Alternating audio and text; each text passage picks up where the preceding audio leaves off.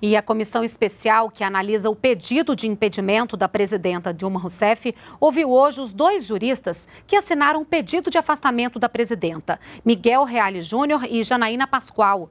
Também nesta semana vão ser ouvidos na comissão o ministro da Fazenda Nelson Barbosa e o professor de Direito da Universidade do Estado do Rio de Janeiro, Ricardo Lodi Ribeiro.